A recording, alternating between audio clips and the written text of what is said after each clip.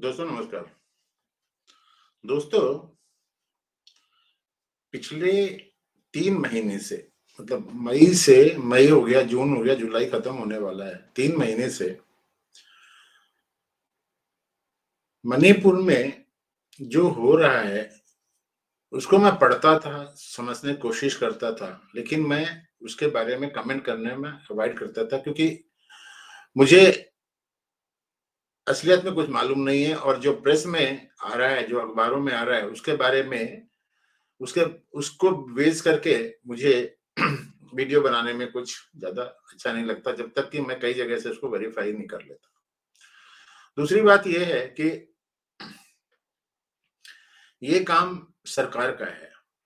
जब नागालैंड में इतना ज़्यादा इंसर्जेंसी था, उसको सरकार ने संभाल लिया और भी नॉर्थ ईस्ट में कई जगह पर प्रॉब्लम थी, उनको संभाल लिया तो इस भी प्रॉब्लम को संभाल सकते हैं। लेकिन पिछले हफ़्ते भर से कुछ ऐसे डेवलपमेंट हो रहे हैं, जिनको देख करके ऐसा लगता है कि इस मामले में बात करने से बचा नहीं जा सकता है। हुआ क्या कि पार्लियामेंट का सेशन शुरू होने के एक दिन पहले कुछ शरारती तत्वों ने एक वीडियो वायरल कर दिया, जिसमें दो अलेजली कुकीज लेडीज़ को स्ट्रिप करके, नंगा करके उनको ले जा रहे हैं और उसको काफ़ी वायरल किया। ये बोला कि ये मैती समाज के जो लोग हैं, वो खुराफात कर रहे हैं और वो रिस्पॉन्सिबल है। उस वीडियो का वायरल होना था कि पूरे देश में आग लग गई। अपोजिशन पार्टी जो है, वो तो इस मौके के रहती है। वो हर तीन चार सेशन में मैं देख रहा हूँ कि वो लोग जैसे पार्लियामेंट सेशन शुरू होता है, उससे पहले कुछ ना कुछ एक सरूफा लेकर के जाते हैं। जैसे कि पिछले से पिछली बार एक हुआ था, वो पेगासस का एक सॉफ्टवेयर का कुछ था, जिसको वायरल ने पब्लिश कर दिया था। उस चक्कर में पूरा पार्लियामेंट का बाजा बजाया इन लोगों ने। उसके बाद पिछले जो सेशन था बजट सेशन था, उसमें वो जो अदानी वाला जो था ना, लीक हो गया था, वो कौन सी थी, वो अमेरिका की कोई कंपनी थी जिसने उसके बारे में पूरा पूरा लिख दिया था और फिर बाद में वो बहुत हंगामा हुआ। पार्लियामेंट में आपको राहुल गांधी का वो बयान भी याद होगा। जिसको उन्होंने दिया, उसके बाद में फिर काफ़ी हंगामा हुआ उनकी बातों को एक्सपेंस किया गया। खैर तो राजीव, राहुल गांधी साहब आज की डेट में ऑफ़ पार्लियामेंट भी नहीं है। लेकिन इस बार जो मणिपुर वायलेंस का जो वीडियो वायरल हुआ, उस चक्कर में पार्लियामेंट अभी तक नहीं चल पा रही है और यहाँ तक हो गया है कि पार्लियामेंट नहीं चल पाने का तो एक अलग वजह है।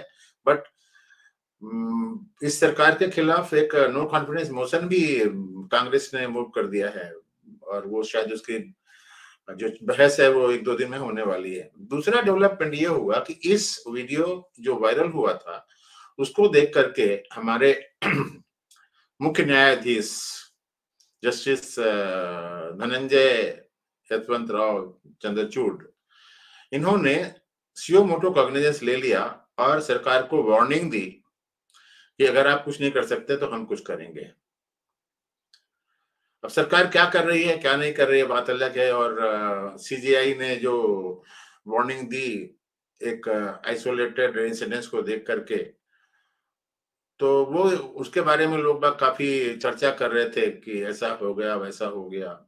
और ये बात सही भी है कि सुप्रीम कोर्ट का जो रवैया है वो थोड़ा मतलब आम आदमी की परसेप्शन में बायस लगता है। जब बंगाल में चुनाव के बाद दंगे हुए थे, तब सुप्रीम कोर्ट के जजेस को कोई गड़बड़ नहीं लगा। अभी जब रामनवमी के टाइम में जब वहाँ पर वेस्ट बंगाल में गड़बड़ हुई, तब सुप्रीम कोर्ट को कोई गड़बड़ नहीं लगा। उसके बाद क्या बताएँ अभी जो पंचायत के इलेक्शन हुए थे, उसमें जो हिंसा हुई, सुप्रीम कोर्ट कोई गड़बड़ नहीं लगता। यहाँ तक कि सुप्रीम कोर्ट में कोई भी आता है तो उसको बोलते तुम हाई कोर्ट में चले जाओ, इधर चले जाओ, उधर चले जाओ। लेकिन मणिपुर के बारे में वो, सीओ मोटो कॉग्निजेंस ले लेते हैं। ऐसी और भी बहुत घटनाएँ हैं, जिसमें कि एक्सपेक्ट करते हैं कि Supreme Court suo motu cognizance लेगा। जैसे, जैसा नहीं है कि सीजीआई ले ले, लेकिन कोई भी ले सकता है इससे कोई बात नहीं है। बट ठीक है राजस्थान में इतना ज़्यादा मतलब अगर आज की डेट में आप रिपोर्टिंग देखें क्रिमिनल रिकॉर्ड देखें तो राजस्थान में रेप के सबसे ज़्यादा घटनाएँ हो रही हैं। लेकिन सब चुप है ना तो वहाँ पर कोई पॉलिटिकल लीडर जाता है ना कुछ जाता है। छत्तीसगढ़ में हो रहा है पता नहीं कैसा झारखंड में भी कुछ हुआ था अभी कुछ पहले। तो ठीक है वो एक सोसाइटी का एबरेशन है जिसके बारे में होता रहता है बट एनीवे anyway, तो सीजीआई ने वो कॉग्निजेंस ले लिया। उस कॉग्निजेंस के बाद जो देश में चर्चा शुरू हुई, उसी चर्चा में एक, चेन्नई बेस्ड पॉलिटिकल कमेंटेटर हैं। बद्री सशादरी उन्होंने भी अपना किसी टीवी चैनल पे वो टीवी चैनल में जाते रहते हैं तमिल टीवी चैनल में जाते रहते हैं यहाँ, वहाँ यूट्यूब में भी जाकर के वहाँ पर अपना वो व्यूज़ प्रकट करते हैं, बताते हैं कि हाँ भाई अब क्या है, क्या नहीं है। अब हिंदुस्तान है, अगर कोई भी कहीं पर भी कुछ भी एक्शन होगा और मेरी राय है कि भाई हाँ ये गलत हो रहा है तो मेरे को पूरा पूरा फ्रीडम ऑफ़ एक्सप्रेशन है। आर्टिकल 19 मेरे लिए है, मैं उसको बोल सकता हूँ। तो उन्होंने अपना परसेप्शन बताया। उस इंटरव्यू के बाद डीएमके की जो गवर्नमेंट है स्टालिन की, उन्होंने एक एफआईआर के बेसिस पर एक कोई एडवोकेट होगा जो तमिलनाडु में कहीं पर होगा उसके बेसिस पर उनको अरेस्ट कर लिया। अब मैं आपको बता दूँ कि ये ऐसी गवर्नमेंट है डीएमके जो अपने खिलाफ कुछ भी नहीं सुन सकती। वो बिहार का एक यूट्यूबर है, मनीष कश्यप या क्या नाम है उसका, उसको उन्होंने अरेस्ट किया था क्योंकि उसने यूट्यूब में कुछ डाल दिया था कि जो बिहार के लेबर वहाँ पर तमिलनाडु में जाते हैं, उनके खिलाफ काफ़ी जो है मिसट्रीटमेंट होता है ट्रीटमेंट होता है, ये उस बात को लेकर के स्टालिनी गवर्नमेंट जो है भड़क गई और उनको जाके के अंदर कर दिया। तो बद्री से सदरी साहब को अंदर कर दिया गया है। अब इसमें यह है कि ना तो सीजीआई ने कोई कंटेम्प्ट किया सीजीआई ने कोई कंटेम्प्ट इश्यू नहीं किया मतलब सुप्रीम कोर्ट ने कोई कंटेम्प्ट इश्यू नहीं किया।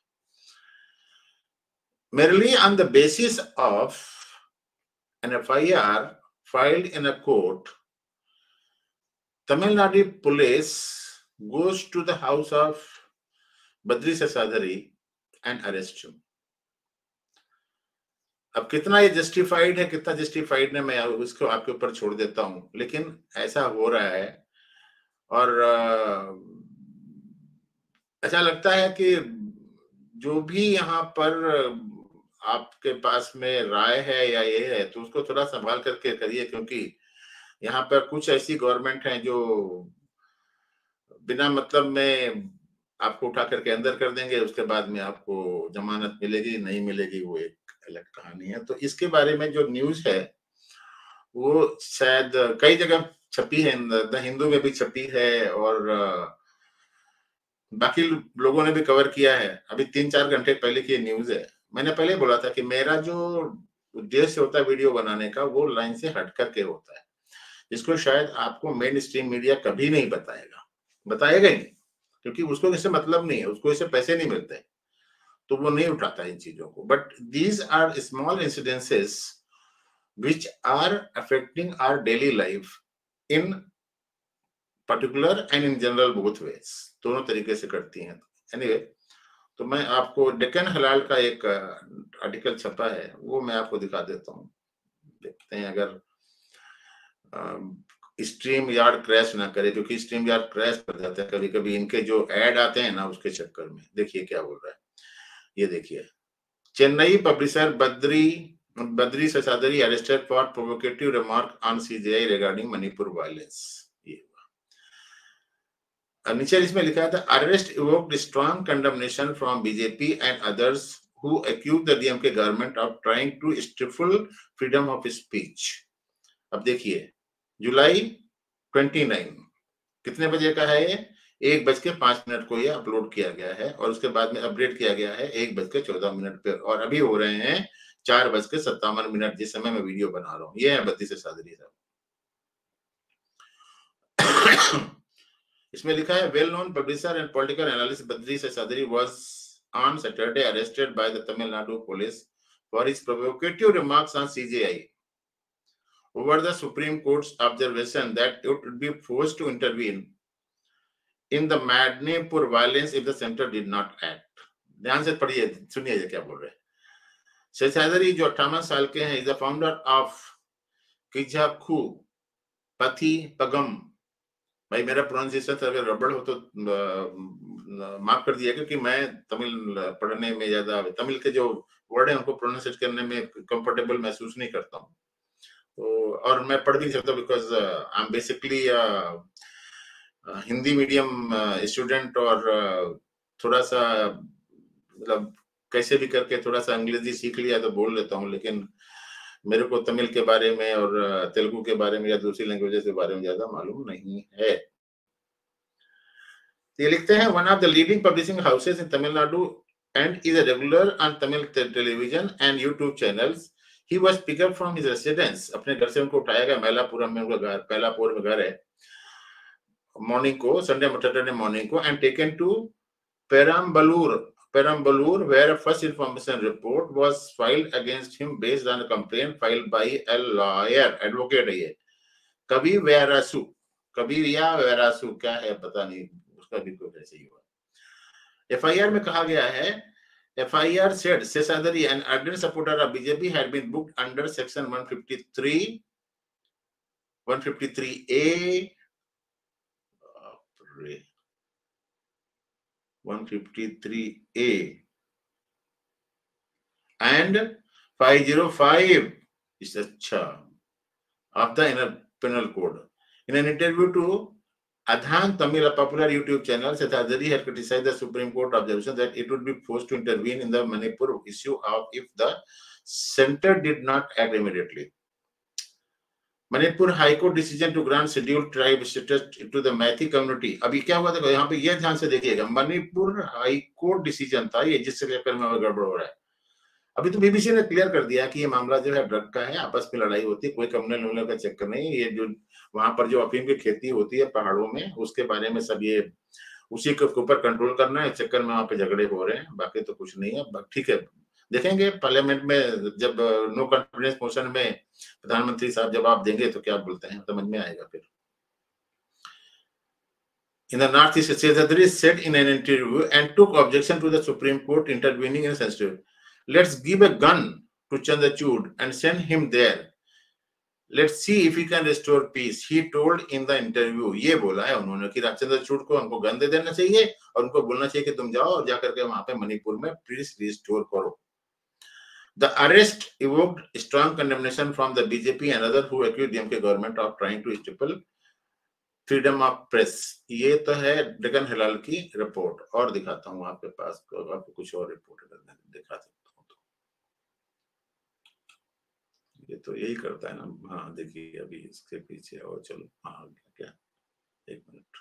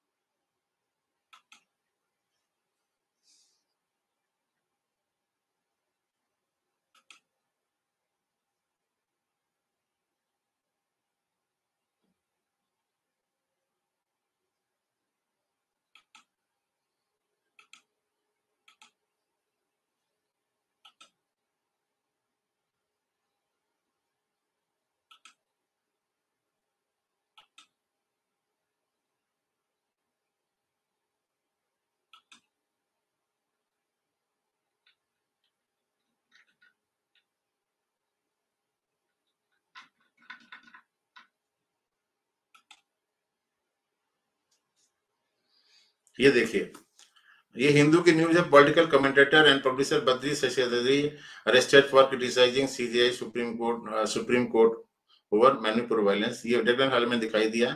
Express view on express view on CBI probe in Manipur assault Supreme Court refers case of two tribal women पर असॉल्टेड ये 11 घंटे पहले की न्यूज़ है। Zero tolerance what central to Supreme Court on Manipur this इसके बाद में central ministry Supreme Court on Manipur says Gaurav Gogoi, zero tolerance toward this and that CBI to prove Manipur video this and अभी क्या है, मैं आपको एक और अच्छी सी न्यूज़ बताता हूँ इसी कंटेक्स्ट में। वो ये है कि हमारे सुप्रीम कोर्ट में एक प्रोफेसर साहब हैं। हैदराबाद यूनिवर्सिटी में कहीं पर है वो उन्होंने डायरेक्ट उनके खिलाफ उन्होंने करण थापर को, को एक इंटरव्यू दिया था उसमें कुछ बोला था कि जो भी है वो सब मैते ही कर रहे हैं वो कुकी से हैं तो और कुकी लोगों को बहुत हराज कर रहे हैं मतलब काफ़ी कुछ उन्होंने बकवास की है करण थापर तो वैसे भी माहिर है इन चीज़ों को करवाने में और बकवास करवाने में माहिर है। तो उस करण थापर को जो इंटरव्यू दिया उस चक्कर में वहाँ की गवर्नमेंट ने मणिपुर की गवर्नमेंट ने इन प्रोफेसर साहब को तलब कर लिया। बोला, आ जाओ, उनका खिलाफ कोई F I F I R हुई और किसी मजिस्ट्रेट ने इनको सम्मन दे दिया, अट्ठाईस तारीख को इनको जाना था। तो इनका मामला सीधा सुप्रीम कोर्ट में पहुँचा। आज मेरे ख्याल में संजय कौल हाँ जस्टिस संजय कौल के सामने वो मेंशन हुआ, उसमें यह हुआ कि ये मामला अट्ठाईस तारीख को सीजीआई के सामने लिस्टेड था, लेकिन सीजीआई साहब उस दिन डिस्पोज थे, इसलिए वो मामला सुना नहीं गया। अब इस मामले को आप सुन लीजिए। तो जस्टिस संजय कौल ने उस मामले में हैदराबाद के प्रोफेसर को शायद इकतीस तारीख को सुनने को बुलाया है, ऐसा मैंने मतलब देख रहा हूँ, इसमें लिखा हुआ है शायद, ये देखिए, Manipur supreme court to hear, Hyderabad professor pre आंसो एंसो। अब ये कौन लेके गया है? अगर मैं इसको थोड़ा सा पढ़ के बताऊँ, आपको तो मालूम पड़ेगा कि क्या है ये कहानी, देखिए।